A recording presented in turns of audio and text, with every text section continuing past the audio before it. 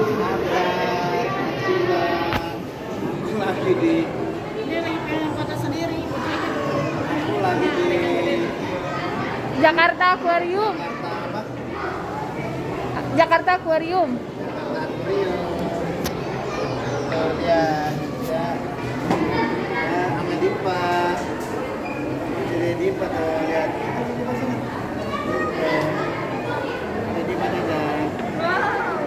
Gitu, bapak di kepala.